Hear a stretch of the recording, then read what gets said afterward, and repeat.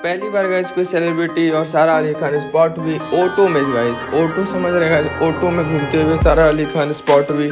वैसे ये एक फ़िल्म का प्रमोशन के लिए था, लेकिन पहली बार किसी सेलिब्रिटी और स्पेशली स्टार किड को हमने ऑटो में देखा गाइस तो कैसी लगती है आपको सारा अली खान कमेंट करके ज़रूर बताना।